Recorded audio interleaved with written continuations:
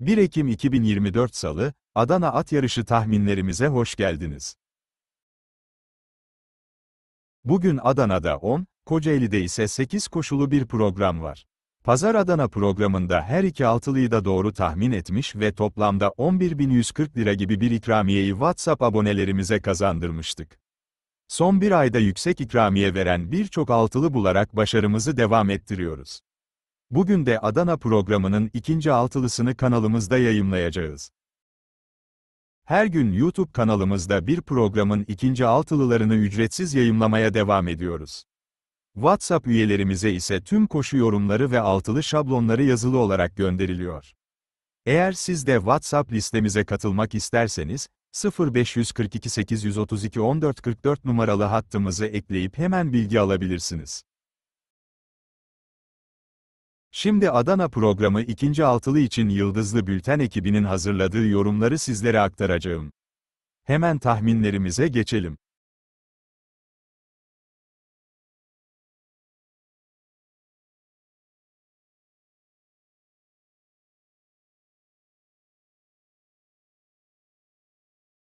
Beşinci koşu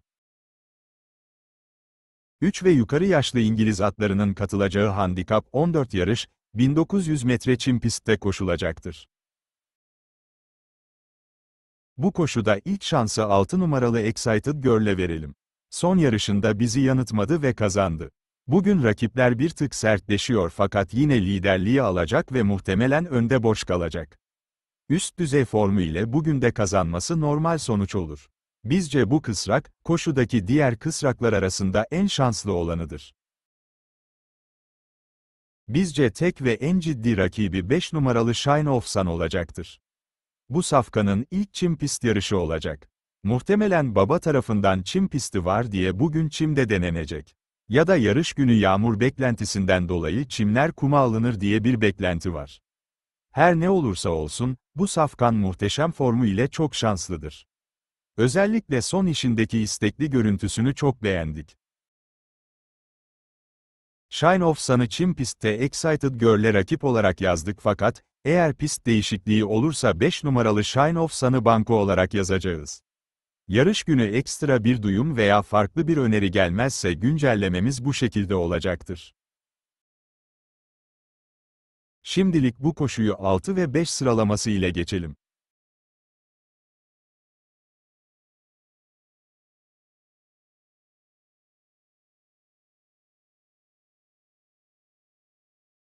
Altıncı koşu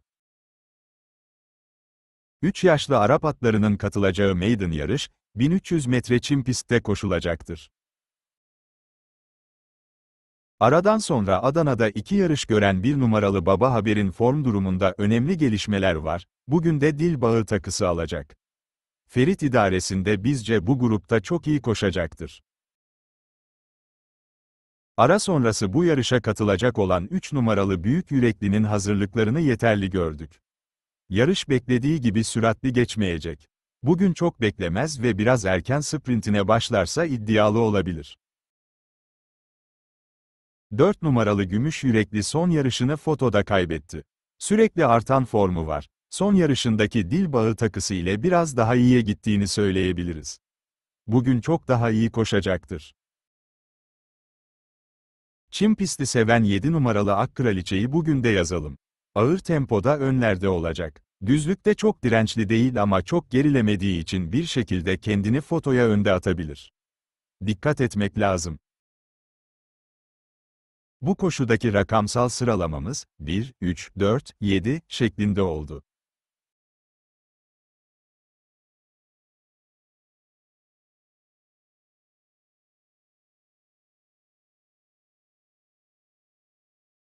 Yedinci koşu.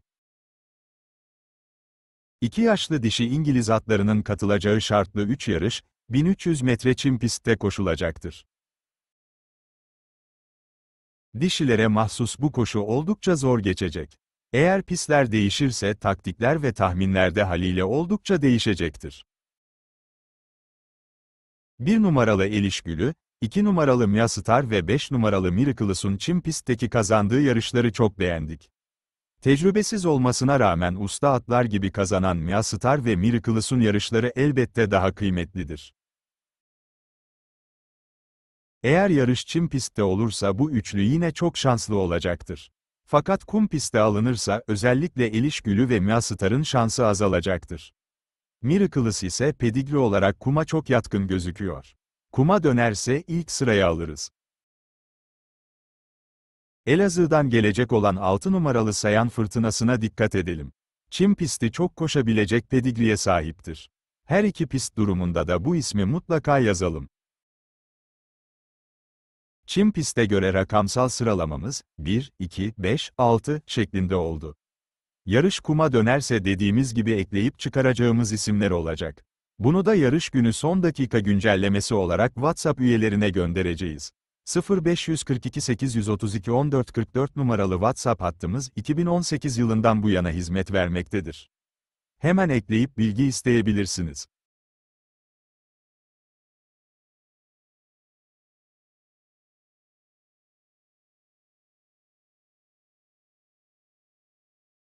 Sekizinci koşu 3 ve yukarı yaşlı İngiliz atlarının katılacağı şartlı 5 yarış, 1300 metre kum pistte koşulacaktır. Bu koşuda ilk şansı bir numaralı Yıldız Kıran'a vereceğiz. Normal şartlarda yarış kazanma yüzdesi düşük biniciye emanet edilen atlarda çok farklı bir şey görmezsek şans vermeyiz. Fakat bu isim özellikle son işinde mükemmel gözüktü.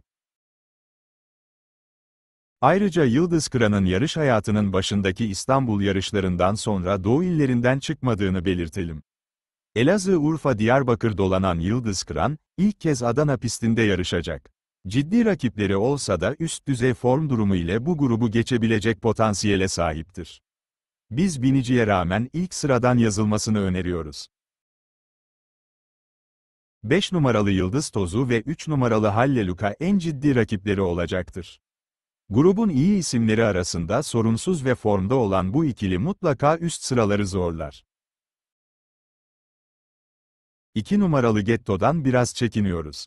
Aslında stili rakipleri var. Nisanur hatırasını yakın takip edecek isimler olmasaydı Getto önde kalır ve düzlükte alacağı liderliği fotoya kadar taşıyabilirdi. Yine de bu ihtimal gerçekleşebilir.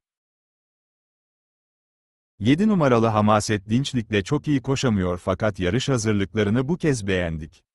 Grubun uygunluğu ile son sıradan şans verelim.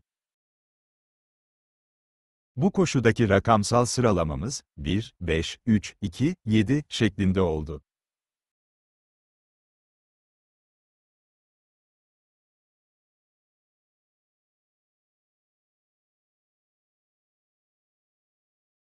Dokuzuncu koşu 4 ve yukarı yaşlı dişi Arap atlarının katılacağı handikap 15 yarış, 1300 metre çim pistte koşulacaktır.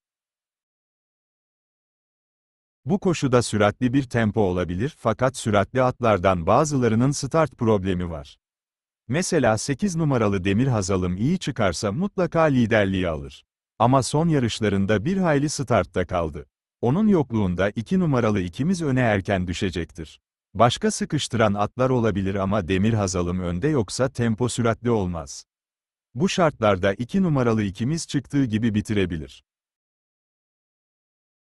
8 numaralı Demir Hazalım normalde son yarışlarına bakarsak yazılmayacak bir isim. Start problemi de var ama idman pistinde çok değiştiğini gördük. Bugün iyi çıkarsa çok ters bir yarış çıkarabilir. Her türlü pistte başarılı olabilir. Ayrıca bu atı bugünden itibaren takibe alalım. Form durumunda gelişme olan isimlerden biri de 3 numaralı Kırat kızıdır.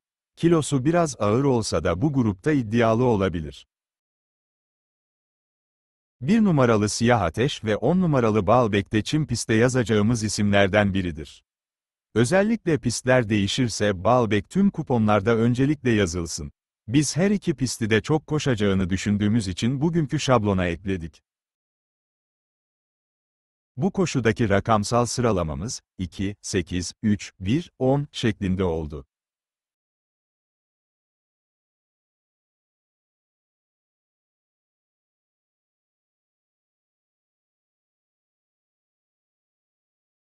Onuncu koşu 3 yaşlı Arap atlarının katılacağı maiden yarış, 1300 metre çim pistte koşulacaktır. 3 numaralı Emrah abi, hem son yarışında hem de sonraki idman görüntüsünde dikkat çeken bir isim. Bizce bugün pistler değişse de değişmese de kazanmaya çok yakındır. Rakip olarak öncelikle 9 numaralı Gül Sebahat'i önerebiliriz. İyi hazırlanan bu ismin son çim yarışı da oldukça iyi. Pistler değişse de çok şanslı olduğunu belirtelim. Günün sürprizini ise bir numaralı Acarbay yapabilir. Bu tayın ilk yarışındaki düzlük sprintini beğenmiştik. Sonraki kaydolduğu yarışta starta girmeyerek huysuzluk yaptı ve yarıştan çıktı. Son yarışında da startta biraz takılarak koşan Acarbay'ın o yarışını da ölçü almayalım. Bugün iyi çıkarsa beklenen çıkışını yapabilir dikkat edin. Bu koşudaki rakamsal sıralamamız 4, 9, 1 şeklinde oldu.